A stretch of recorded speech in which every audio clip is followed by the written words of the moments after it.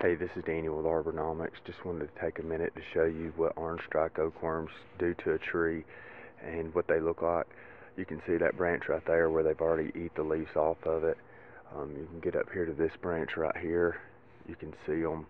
They're they started eating the leaves off of this. They're little they're little bitty worms.